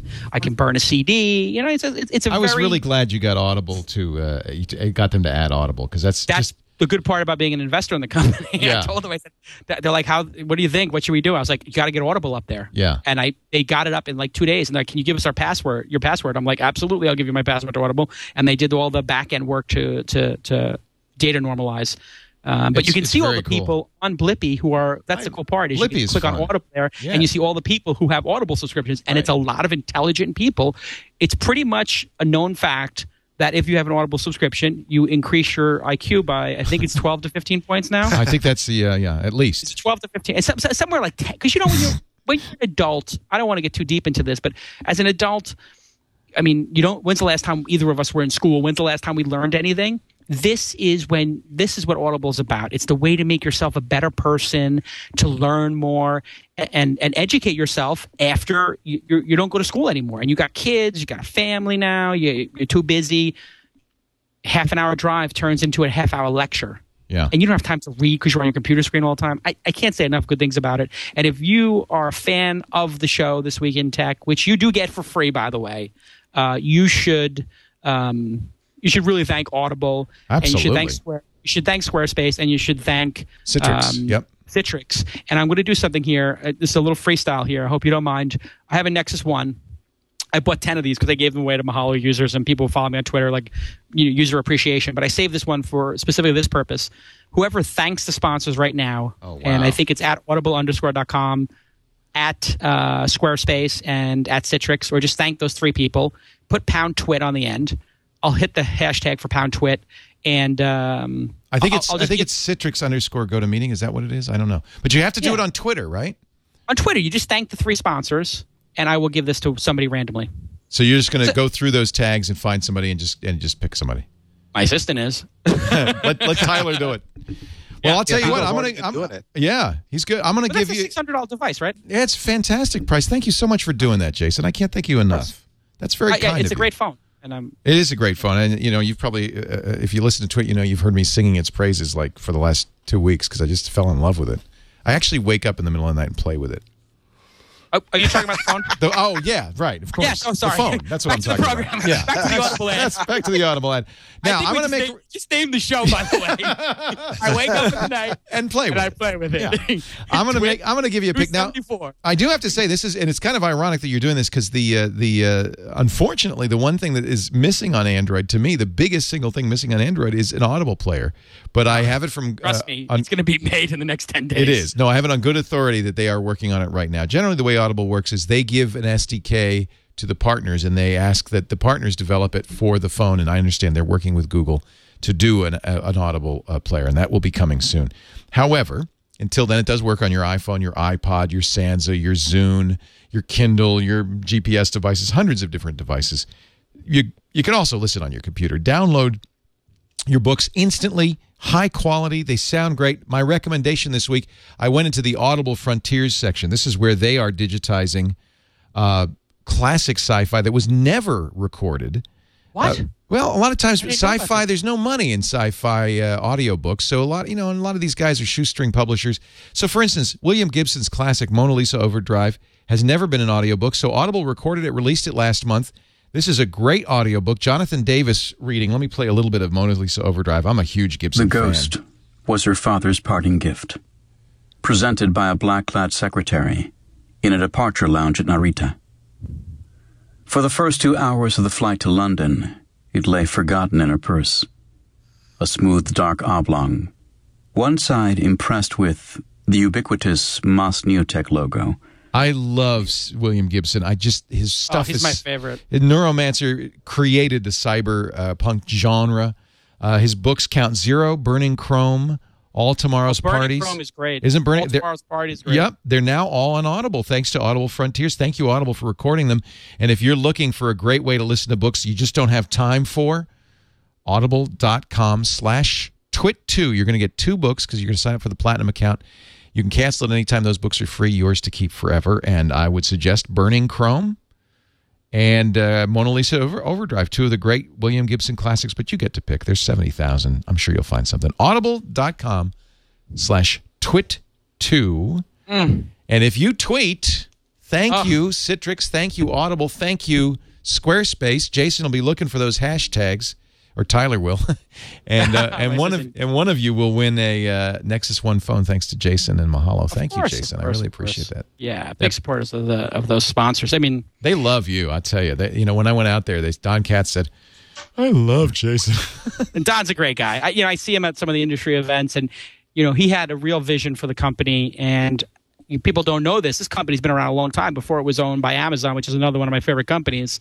Um, and they struggled in the Oh, early yeah. days. Man, Oh, did yeah. that company Audible was struggling. Yep. They had they couldn't get the they couldn't get the rights to the books. you got to get the People- publishers. This is the same problem they Apple's could have. get them in the Yeah, beginning yeah. was really hard for them. And you know what? Don Katz and his team, I give uh, kudos to them. And I didn't believe in it when I was a journalist. I had I had written some pieces a little negative about it, like because I didn't the experience wasn't perfect. And they were doing this before the iPod. They had their own MP3 That's right. player, That's right. and that's how visionary Don Katz was. That's how visionary Audible is. And now they're just hitting their stride. I mean, every book's in there, and to, to do things like take the old classics and actually have them read. I mean, that's a mitzvah. I mean, it, that's really just Isn't it it's great? Like, it's it's like when Scorsese is like, you know, he's he's Scorsese's so the man, and the other night he's like. He's accepting some lifetime achievement award or something at the Golden Globes, and he's like, "Listen, the most important thing we can do is preserve these films." And then he rattles off 16 names of films, Hmm. and they show the audience. They have no idea what these films are. the audience, these, these actors are like, "What film is that?" They don't. that's know. why they got to preserve them. These are, this is our gotta preserve heritage. This is our cultural heritage. and he's doing it, and he's Good. doing it, and Don Katz is doing it. Great company, Yep. and uh, really, it's great that they support independent media because where are you going to get this week in tech? I mean, Tech TV, you know, shot themselves in the foot, then they shot themselves in the other foot, then they shot themselves in the leg, and they cut their leg off. I mean, they had all this great programming and they just I know it's sad. destroyed it. And it's being reborn again by the people who have a passion for it. That's what independent podcasting is about. And I, I just, I love. No, I'm very, I'm with you. I'm very grateful to the, these companies because it's taken a chance to buy an ad on a podcast. Yeah. Um, Now they know they've been here. These guys have all been with us more than two years, and so they know that works. But but that first buy must have been a little scary.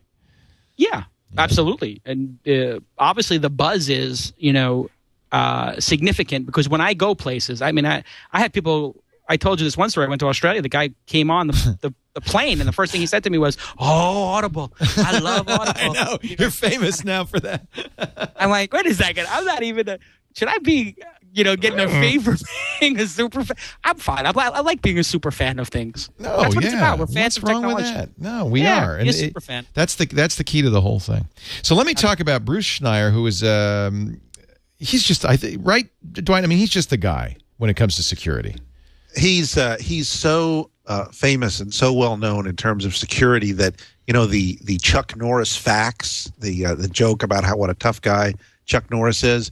Somebody uh, on the web did a Bruce Schneier facts, and it's very very similar if you're into Yeah. security geek humor. Yeah. So if if you become the subject of an internet geek meme, you've uh, you're at the top of your game. CNN uh, published uh, an article. Bruce's blog uh, is Schneier, S C H N E I E R dot com, and a must read Schneier on security. But CNN published his essay on uh, the China Google hack. Uh, and I hope, uh, in their opinion section, I hope it gets a lot of attention. The headline U.S. enables Chinese hacking of Google. Now, un- unfortunately, he kind of makes a uh, statement in here, which he, you know, I don't. There's no reference, no link, no backup, so I don't know. He's taking it as read that, and I'll read it. This is the quote: "In order to comply with government search warrants on user data, Google created a backdoor access system into Gmail accounts, and that is the feature Oh. Chinese hackers used." To gain access. Yeah, Furthermore, but there's no source. There's no source for that. He doesn't say where he got that. And the information that both Microsoft and Google, which hasn't really said anything definitive, have put out that it I had know to where he do with got a it. vulnerability. That came from But- Google. you think it came from Google? They're back channeling. Because they They're don't, they don't, they want everybody to understand. Look, this is here because the government makes us do this. Yes, yes. yeah, they'd This- rather know. They'd rather channel. people think that than think that they're using Internet Explorer six. or that or that they created this backdoor because they want to look at their competitors' emails that are using Gmail or Right. startup companies or that they're doing something nefarious. Like, why would you put a backdoor in? You don't need a backdoor if you're an email provider. You know, if somebody forgets their password, you reset it. Why would you need a backdoor? Right. Well, this is his position. He says Google's system isn't unique. I'm quoting again. Democratic governments around the world, in Sweden, Canada, and the UK, for example, are rushing to pass laws giving their police new powers of internet surveillance, in many cases, requiring communication systems providers to redesign products and services they sell. There's also data retention laws, which require them to keep it. And of course, as we well know, um, the National Security Agency has been eavesdropping on all of us with the help and compliance of AT&T and Verizon, who've been protected by congressional acts so that they're not liable for this. And the Communications Assistance for Law Enforcement Act in 1994 required them to do so. Um, so, so he says official misuses are bad enough, but it's the unofficial uses that worry me more. Any surveillance and control system must itself be secured. An infrastructure conducive to surveillance and control invites surveillance and control, both by the people you expect and the people you don't. So I have to, because Bruce is so well respected, I'm just going to have to take his word when he says there's a back door. I think you're probably right, Jason. He must have gotten that from Google. Yeah, that's that's that's the writings there. And interestingly, in the same article, he says NSA analysts collected more data than they were authorized to. This is talking about Of course they did. NSA and and used the system to spy on wives, girlfriends, and notables such as President Clinton. That we know. And- that we know. Yes. Any system that can be hacked will, be hacked. Any system that can be abused will be abused. Therefore, you, you, it, it's reliant on the people who build and manage these systems to to really take this seriously and not build backdoors into it. Um, I, I wonder what would happen if somebody provided a service. I mean, this would be an incredible company. Provided an email service that was absolutely secure with no backdoors in it, and that didn't have any had a data retention policy of zero, which basically meant we delete every email in the system after ten days. Hush So you mail. could have. Oh, really? Is that what Hushmail is? Phil Zimmermann, uh, the guy who created PGP, worked with these guys. Um, I, I'm, you know, who knows though? Because if the law requires everybody have a backdoor, even Hushmail have a backdoor, but it uses a PGP in the background for fully encrypted mail that no one can, uh, in theory, no one can read. Um, and I knowing Phil, I mean, look, Phil is not the kind of guy that's going to put a backdoor in anything. I guess the only way you'd know for sure, though, is if it were completely open source, right? Because then somebody could look at the source and say, well, here's the back door or not.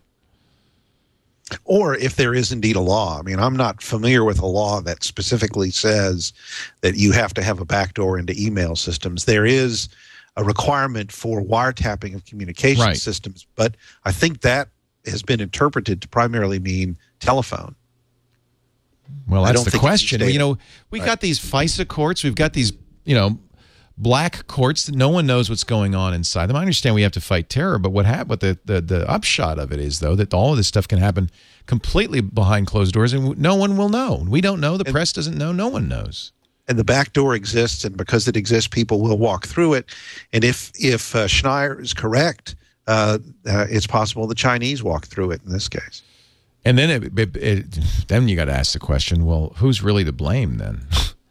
I think it's pretty obvious who's to blame. Yeah. Yahoo, mean, we- this is- according to the journal, Yahoo was also targeted in the uh, in the Chinese attacks. Um, And they didn't step up. They did not Right. step up. They, as Google did, and Yahoo has really always been kind of complicit, more complicit with the Chinese government than anybody. They, Yeah. you know, Well, it's part of the reason why they sort of got out and did the. Um, they sold out. They, yeah, they sold out because you know what? I think Jerry Yang, who is Taiwanese, Yeah. could, he couldn't live with himself. yeah. Uh, and it was pretty famous at the D conference a number of years ago. The Wall Street Journal is really excellent, like seed level, you know, event. Uh, Terry Semel was on stage, and they asked him famously, like, "What would you do?" You know, and what would you do if um, this guy Shervin asked him, "What would you do if the Nazis?" You know, uh, came to you asking for you know emails or something like that. You know, the same way the you know communists, you know, um, China have. And he says, "Well, you know, we really." who knows what you would do in what situation? There's a lot of factors. It was a, it was the worst answer you ever heard, because the only thing you say when people ask you that Nazi question is like, "I would fight to the death you know, against the Nazis," Even And if you wouldn't, you say it. Right. Even if you're a coward, Pay you- it lip I mean, service. Exactly. And uh, you know, no, knowing what you know now, of course. But But the fact I that he think- didn't is almost it's it's an it's a it's a admission It's a of guilt. It's a tell. It's a tell. It's a tell. It's a huge Uh, tell. And basically, Yahoo. I don't think Yahoo management is the same as Google management. The founders, this is obviously Sergey, is very much driving this, and he's a, both those guys, very principled guys. And uh, Sergey uh, has immigrant parents, uh, and um, I think they suffered a little You bit. know who else? You know who else? No spine. The Obama administration. They were going to send a complaint to China, and they backed down. it's a this is an incredibly complex issue now because of the geopolitics and the intertwining of our uh, economies. They could bankrupt our economy, but just stop by by no longer could- buying our paper. we- and we could create a civil war in theirs by not taking their imports. right. Uh, they, you realize how many people have moved from the north to the south Just to work factories just to work at Shenzhen and the other factories. You and bet. those places. And if we stop buying and consuming their products, uh, they, they, they had a stimulus package that was, you know, 20, 30% of their economy. We had a stimulus package of 1 or 2% of our economy, you know, and um, it, it, they would, they, it's quite possible China could go into a complete civil war. Uh, I know that sounds like something out of a William Gibson novel. No, uh, it's completely possible. This is what's at stake They right walk at the. They're walking the edge economically. They always have been. They had a famine under Mao that killed. uh, I can't remember what it was. Twenty-one million people. Yeah, when you have billions of people and an uncertain future economically, and you don't have the sustainability uh, to to feed them, uh, to, to to house them, uh, you know, it, it could turn into a really big problem. And uh, they're, they're not their economy is vibrant in some ways, but it's it's it's controlled in others. You know, they they regulate their uh, currency, et cetera. So the interdependencies, I don't think that people actually know what would happen if we disengage from each other, you know, let alone went to war with each other. Yeah, and this is over. This is the, the, the mind blowing thing is this is over a couple of dissidents' email boxes. Right. This is what shows you, you know, This is what the dissidents got what they wanted, which is to Well, de- I mean, it's- destabilize the Well, and situation. wars have been started for less. yeah. and Yeah. and if if and there's just one or two people who are responsible um, for holding the line two tremendous entrepreneurs in larry and sergey uh, and you have to give them a lot of credit because uh, there's not many billionaires Eric, Eric didn't want to do it. Eric didn't want to do it sup- supposedly, uh, you know, and people have different philosophies, you know, engagement versus isolation. But at some point, you have to draw the line, and I think that they they picked a good point. Do you think it has anything you- to do with the fact that uh, uh, Larry and Sergey have announced they're going to sell off $5.5 billion worth of shares and No, give up majority voting power? That was Absolutely not. That- predetermined. they were going to do that already. Okay. Yeah, anybody. who's it's not like much- saying, okay, I think uh, I'm going to get out of here. no. Anybody who has that amount of wealth in one Yeah. stock You want to diversify. sets they set a com- they set a computer program to diversify them over years. Right. Uh, automatic trading, so they can't ever be, you know, said to be trading on inside information. Um, I got a tip for them. California bonds backed by the Highway Fund. It's I heard it from yeah, I don't think there's enough California highways. five point five actually billion for them to back. No, oh well. They have to buy some Chinese bonds. So, Leo, it's- you it's- mentioned it's- Yahoo. What about Microsoft? Microsoft, uh, you know, Steve Ballmer said they would do, you know, they would follow the law in order to do business in China, and that uh, They he kind of no mocked indication. Google. He said Google, these guys are dopes. Right, right. I mean, that, not exactly those words, but the but and then furthermore, when they when asked if they they were hacked, they said, "Well, no, we think everything's okay." Of course, Internet Explorer had a little bit of a Right, problem. they're- they using Internet Explorer six? Maybe they're using Firefox, and so they feel safe. I don't know. Yeah. Well, Google didn't Well, have that much in terms of investment in there, and they were still building kind of what they were doing. They had Right. of the companies that are Right. that exist that had a foothold in there that could have been hurt. Um, they're the ones that had the le- the the least to you lose in terms of pulling out. Probably The intentionally. good for them. Probably intentionally, I- because in the past four years, they've been very careful not to put servers there, not to put any other assets in there, to, to do as little as possible, and still have a foot in that market. I don't know what's going to happen. All right, if that Uh, didn't make you angry enough, how about this one? PayPal has frozen the assets of WikiLeaks.org. Ugh, WikiLeaks is an amazing lame. uh, PayPal, wake up. Uh, an amazing site where uh, a very valuable whistleblower site. They have published, uh, you know, hugely important documents. If, if you know, if it weren't for WikiLeaks, there's all sorts of stuff we wouldn't know is happening. And now, uh, as of the 23rd, which was uh, yesterday, PayPal has frozen their assets. PayPal does this from time to time with various um, sites. I, I live in fear that they're going to do it with our assets, but that's why I transfer money out as quickly as I can because that's the donation system we use. We're we're working to make it expand it to Google and other systems, but uh, uh, I'll so tell you what's uh, crazy about this. I just sent you a link in the chat room from the Guardian, uh, which has a picture of um, the Chinese, uh, a Chinese Google user putting flowers on the Google Office logo. oh, isn't that great? The, the Chinese users now are backing the Chinese citizens and users of Google are backing them. Uh, well, of course this- they are. Right. Well, this but this says something now, where they are uh, trying to use our systems to enslave and you know possibly murder and torture their own citizens. Their own citizens are protesting in favor of the American companies. This gives you. This should give you um, Boy, that- hope. I, I, this guy is very brave, though. I mean, here he is pictured in the paper doing this. I, yeah, yeah, yeah. I, you know, this guy's probably in a secret prison right now. Yeah. But you know, th- I I I can't say enough about the two entrepreneurs who actually put their asses on the line for what's right. I mean, it's Thank you, Larry and Sergey. it's so rare you know it's like Yep. you just these people are such sellouts and and steve ballmer you know i i, I don't even expect him to do the right No, thing no. ebay you know what i don't even expect No. ebay to do the right thing uh, it- it's just so sad that they and WikiLeaks is a fantastic site and whistleblowing laws. We give rewards a percentage of the of the um, money recouped by the government because of IRS tax evasion and this kind of stuff goes to whistleblowers. That's that's, that's a formal program that our Huh, I government didn't know has. that. Wow. Yeah, Yeah, it's uh. So we we are actually trying to get more people to whistleblow. So why is eBay freezing their account? Hmm. I don't Makes know. no sense. Just thought eBay I'd bring it up. said why, have no, they? they, I'm haven't. I just, site, they have know, not explained They don't it. have to really, and they don't. I just thought I'd Yeah, bring it up. It could be a court order or something like that, where they just said freeze it, and you know, They do the simplest thing, right? They don't have. They do the simplest. Don't thing. expect spine. Spine isn't a rare commodity in corporate in the corporate world. yeah. All right, we're going to wrap it up. This is uh, boy, this is a great show. There's a, there's a bunch of other stuff we could talk about, like Italy saying they, they want to uh, regulate online Flash player installations. Uh? Italy or Illy? Italy, Sil- Italy. Silvio they, uh, Berlusconi is pushing through measures that would give the state control over online video content and force anyone who regularly uploads video to obtain a license from the Ministry of Communications. Is this because they got pictures of him with his mistress or Yeah, something? like I'm that sure on it video? is. Or wasn't he the guy who, Yes. who was having the parties at his house with Yes. all the strippers? Yes. This will not happen again.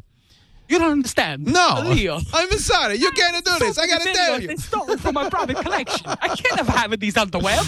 No. This Uh, is a crazy. He's starting to sound like Mario. I mean, I want to have it on my. I'm And gonna, is- I'm going to put it on my computer. too. But it's not going on. Oh yeah, they're going to rush this through. This is ridiculous. And it's and by the way, YouTube is one of the companies that would be uh, heavily infected by this. Yeah. It would force YouTube to police and affect police content, which is undoable, untenable on a site where they're uploading, you know, 20 hours of video every minute. I think the right thing to do for these companies is to just extract themselves. There's enough money to be made in democratic countries. Get out. I think that's a great. I think that out. I think you're going to start seeing that, and and, and it, because this undermines the fundamental premise that the internet is global. And if, Right. if you're going to do this, if you're going to if you're going to balkanize the internet, well, okay, we're not going to play. Yeah, opt out. Opt out. All Yeah. right. Uh, White House unveils an iPhone iPod Touch application. Where's our Android version, White House? Uh, O'Reilly, this is a good one. O'Reilly drops ebook DRM, sees a 104% increase in sales. Uh, wow. Yeah. No, no brainer. Yeah. Uh, you know, I mean, That's something totally David makes Pogue sense. had uh, had done that with his books, which is also O'Reilly, and he noticed. You know, he was very nervous about doing it, and he noticed that after uh, doing it, that his sales went up. we just got to keep That- saying every time this happens, just keep reporting it so that people will finally get the message. You know? Here's what it is. Like, I, I, I buy the book. I'm done with it. I want to give it to somebody else. Right. You know, or I'm at a, I mean, even if I'm at a company and I'm a small company and I buy one book for HTML and give it to seven people, you know what? I wasn't going to buy it anyway. Or all you're making me do is buy the print book and then hand it around the office or have somebody photocopy it. Right. You know, And and you know, as as much as we love Audible, Audible's required by publishers to do the same thing. Uh, I'm sure Amazon's required on the Kindle to do the same thing. It's really the publishers who are going to have to say, just as the music industry did, okay, it's not working. And uh, Right. c- uh, uh, you know, kudos to O'Reilly for for having the, the sense to do that. I think that's it has to be it has to be content owner driven. The, the companies eh, who are the enablers, the, the technology companies, they don't have a choice. So you, you can't go to say, oh, you know, it's it's this person's fault or that person's fault. I mean, if you look at Apple, they showed the uh, labels that they could on DRM stuff. It Right. took how many years?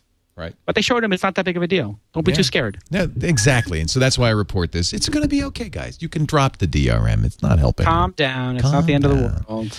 Anybody knows? what Anybody know what the acceleration rate for sales in uh, the iTunes store was after they took the DRM? Oh, that's a good question. How Uh, much you know, faster it went up? Remember, EMI was the first to do that. It was the big experiment everybody watched, and I do believe EMI's Right. sales went up quite a bit when they uh, dropped it. So, uh, I think that was the impetus to finally drop it completely in the music industry. Guys, we're out of time. I really appreciate your spending some time with us. Of Good course, show. all of our listeners. Jason, you're the best. Jason Calacanis is at mahalo.com. He's got a Nexus One. He's going to give away. You still have some time if you want to tweet. Uh, thanks to our great sponsors and tell them uh, you appreciate the support they give us, and uh, and then Sergeant uh, Sergeant Riley there will will go through it and pick one for the next one. I don't even want to inquire on how he's going to do it. We'll just assume it's random and above board. I'm going to pick whoever has the best avatar. okay, you should look at mine. No, I, Am I love eligible, Jason? James Bond get in on this? You So got jealous. one. We've all got one. We don't get to play the game. I don't have a James Bond avatar. oh, I do. I Thank- know you do. Thanks to You Jackie. Free. You want you want one? I could Jack, Jack get Jackie to do one. Jackie's I, Jackie's a who, who doesn't want to be James Bond? Come Who on. wouldn't? Jackie's a great designer down here on the peninsula. She brought us cookies, And uh, she she's a great photographer. And I said, and she said, well, can I do you? Easy on the cookies. You got that Withings scale. I'm not eating. I know the Withings. I know you got one too.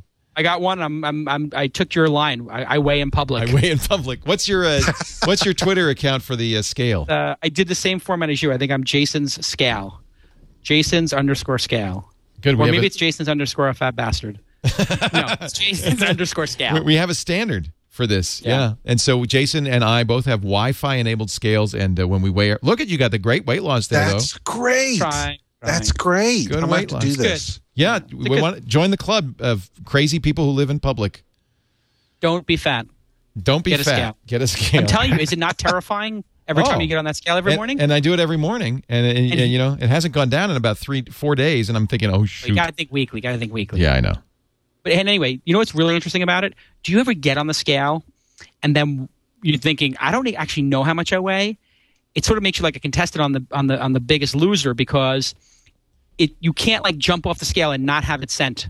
Yeah, no, I hear a drum roll every time I get on my scale. I hear a drum roll now. It calculates it, and there is no way to stop it from uploading. So if all of a sudden you're two pounds heavier, Too late. It's too late. It's already on your Twitter account. Everybody So knows you're what, what fat. is the scale? What is the name of the It's scale? called the Withings, Yep. W I T H I N G S dot com. It's on Amazon, but you can also get it directly from Withings. It's 159 bucks. It's not a cheap scale. It's beautiful. It does good looking bot. It, it does a BMI uh, calculation and also does What's your fat. BMI? My BMI is too high. I think it's 31. It's we. You gotta I'm get like it down. 28 points. That's good. You're good. Ah, I'm still out of the range. I'm still out of the Well, range. we're all, I- I we're all look- going to get there. We're all going to get there, and we're going to do it in public. I know it's going to take time. It's Do hard you know when You, you can hook it up to your um, Google Health. I did that. I did that, and then there's this Daily dailyburn.com. Daily. Burn. I was just checking out Daily Burn. That's That's a great site. I Uh, have a really good iPhone application tip. Just a final thing. Um, I'm not involved with this company or anything. I just uh, it's called iFitness, and this application. I use it. I love Uh, it. oh, you have it. Yeah. And so you pick what you want to work out. So like. I, I pick what I want to work out. I'm doing the chest workout. Yeah, I was doing my. Yeah, I that like your chest. Um, and uh, Thank you. It's uh, uh, It's What are you doing after the show? Uh, anyway, um, no, but it's really cool because you can pick. Like, I want to do this barbell press, and then uh, you're not going to see this. it- Actually, you can, can almost see it over my You can That's see pretty it. dope. Yeah, it shows you that how to do it. It has a description, and you can And then it has record it. video. You record it. And It has you can- video. and yeah. you can do. It has video now. They're they're putting video for each one. I so love they, it. They record it on a white background, and then you can say, "I did this many reps." Ba ba ba ba ba. And uh, anyway, this is all coming together. Daily very- Burn also has an application that will upload your food. Uh, they have several applications that will upload your Yep. food and your I workout. just got Daily Burn. I like Daily Burn. Daily Burn's great. I think that was one of these companies out of like not Y Combinator, but another company, um, uh, TechStars out of Boulder, interesting. which is one of those like incubators where you go for like a ten week course and then you start a company. So uh, it's a really I like I like all, I like this whole space. I just remember I was doing fat blogging a couple of years ago, and I was like, this, there's something here about you know the community support, which I guess is what Jenny Craig's about. But with the Wi-Fi devices, is We're doing it. We're you know we're getting the support, and I have two thousand people following my scale and and saying good job or whoa better get back on the diet. And I think that's very valuable. every time I look at a plate of food, I think about that goddamn Twitter account.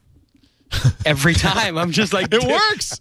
Oh, last night, It my sounds wife had crazy, but it really brownie. works. Yeah. And she had this, it's this Belgian brownie. It's like this. She's No, chomping can't. away at a Belgian brownie, But I- and I'm just sitting there dying. I do not know. Any, I, I've got a list of tweeting scales uh, at at Leo's underscore scale, twitter.com slash Leo underscore scale. Not one woman. Yeah, no, no, no, no, no, no. Oh, no, that's no. interesting. No woman would do this. I think as a guy, you get rewarded for being fat. You're like, eh, I'm drinking beers, I'm gaining weight, pasta, whatever. Who cares? Look at Tony Soprano. Nobody, nobody. Hey. Hey, hey. What?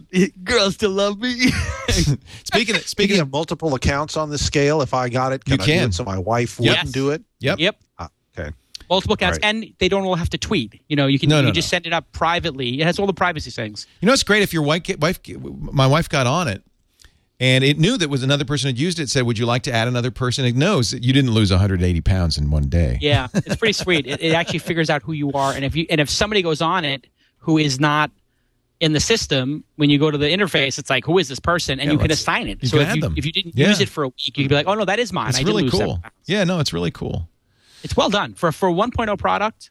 Pretty amazing. By the way, Daily Burn, uh, you were talking about things like Y Combinator and uh, Tom Friedman has a great article in the New York Times, uh, Steve Jobs, Jobs, Jobs, in which he says the thing we need to do right now is incubate startups. This is what's going to save our Sure. economy. That's why I'm investing in them. That, Yep. I mean, that, that's why Yep. I'm bullish. Yep, that's what's going to save this country. But that's what we need to spend, not on stimulus. Support startups, support entrepreneurs, get new businesses started. That's the solution. Jobs, jobs, jobs. Dwight Silverman is at the Houston Chronicle. He blogs at blogs.chron.com slash tech blog. And of course, you must read his uh, tech blog. It's a really great source of tech news every day. And we're going to see you, if you feel better, and I hope you do, at uh, the Apple event. And we'll get you on our uh, obsessive compulsory coverage. Yeah, you'll see me regardless of how I feel. You may not hear me. what time on Wednesday I'll does be coverage there. start? We start. Uh, uh, I'm going to commit to 9 a.m. We might start a little bit earlier, maybe 8:30 a.m. Live.twit.tv. That's Pacific time, and we the event is 10 a.m. till whenever. I don't know. Usually about 12, uh, 10 or 8 to 11 or 30 or Are 12. you bringing a couple of like different Wi-Fi things or, or different EVDO cards to try to report from there? How are you going to do that? well, we can't obviously stream from inside the event. They don't let you do that, but we will. Yes, exactly. We'll stream from outside the event uh, with Evdo. And the same thing when we did, we did CES, and we'll also after the event, we'll then have a roundtable. We'll do MacBreak Weekly of everybody who's around there, including you, Dwight. I hope, uh, uh, kind of you know obsessively decom- decomposing what uh, what Apple has said, deconstructing what Apple has said. Uh, and we'll just keep going. And I'm going to come back to the studio. We have our This Week in Computer Hardware shows at four. We'll continue to talk about the whatever we know about the hardware. I think there's a lot to be said, uh, and we're going to cover it. And because, truthfully, what else are we going to do? You know, we could cover the State of the Union, but I think this is better for us. Much more important. for And the it may be more, it may be more relevant. it may well be more That's right. relevant. Yeah, Ugh, Obama. I'm excited. Yeah, we'll t- talk another day. Yeah, another show. Uh, This week in disappointment. yeah. So, this week in ineffective. not for not for Dwight. Dwight knew. Dwight knew. We give him credit all along. Right? Did know? I think so. I knew what? Didn't you? You knew. You were. You you weren't exactly in the uh, in the Obama camp. I want to believe. Oh well, I can't say which camp I was in. He's a but, journalist. uh, Look at that. See how objective he Yeah, is. I can't say. See how objective. I can't say. I want to believe. I wanted to believe. I just want effectiveness. Just get Oh, I something know. done. A leader. Can we have a leader, please? Anybody? I'll say that. I'll believe in that effectiveness, please. Please. Not in this day and age. In this day and age, we we know how to do these things. Let's do it. Uh, I mean, i i how on earth the not? I know it's not a political show, but when you look at the Afghanistan decision, it's it's like it's not the decision of the right where they wanted to send in a whole bunch of troops. No, he and, you splits know, the baby every time. Every time. Yeah, and it's like that's not leadership. Well, and there is the tech angle, which is, and this is what baffles me. He he galvanized, he mobilized an entire uh, cadre of young, wired people using techniques Right. like Twitter and Facebook and webs. And then what happened for the last year? He didn't talk to him. Didn't talk to him. You know why? Because they're going to have it. They're going to be so infuriated and not agree with his decisions. Well, they are now. They He- are he now. He had the He's at a opportunity. town hall meeting now. Maybe he Where's the doesn't. town hall meetings now? Maybe he doesn't. If he does a town hall meeting now, it's going to be a thousand people saying, "I thought you said we're going to get out What'd of this do? war. Yeah, what happened? What what happened? We, What we happened? can't win in Afghanistan. There's there's no winning. It hasn't been won for a thousand years.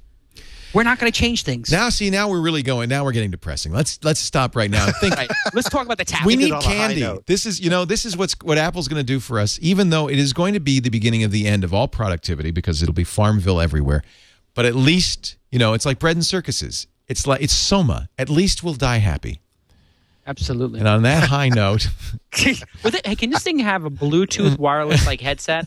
Yeah. Wouldn't that be awesome if it was like had Bluetooth that just connected, so you just put it in your ears, and but like each one was independent, and just boom, Bluetooth onto the device. from your ears to Job's ears. He's not really into that Bluetooth, is No, he? he didn't like the Bluetooth.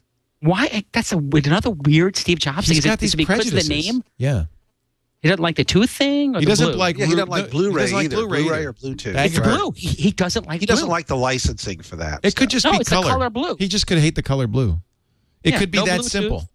no So Blu-ray. if they called it Silvertooth, they'd be he'd Wait a be minute. happy with it. No, wait a minute. Because remember, the first iMac was Bondi Blue. Can't be oh, that. Oh, that's true. yeah, can't be That's that. true. Jason's Twitter account is simply at Jason. I don't know. He's magic. He was able to do that, and there's a great picture of. Aw, a girl, Athena. Dwight Silverman is also on Twitter. What's your Twitter handle, Dwight? D Silverman. D Silverman. Easy to remember. D Sil- and uh, follow him. And now I'm on the suggested user list. So stand back, world. Here I come. I'm verified. The too. new improved is suggested. You know what? I actually like the, the the the way they've done it now is the right way to do it. They should have done it this way all along. We got you- breaking news. You've got lists. You've got you know you've got uh, you know it's not automatic, so there's nobody getting a million. Yeah, but you are getting a thousand a day. I think What I are you getting am per day? All of a sudden, I'm Yeah. getting quite a quite a few That's awesome. more hits. Is it Uh, a thousand? I don't know if it's a thousand, but it's quite a few Mike, more hits. Michael Arrington headline: Overheard Steve Jobs says Apple tablet will be the most important thing I've ever done. That Mike just said that. Uh, yeah, he, somebody overheard Steve Jobs say it's the most important thing. That's clearly what they're leaking. That's clearly the message coming out of Apple is that this is Steve's capping achievement, his crowning achievement. That's Yeah. why I'm excited about Wednesday. I, I Wednesday, starting at nine o'clock, twitlive.tv.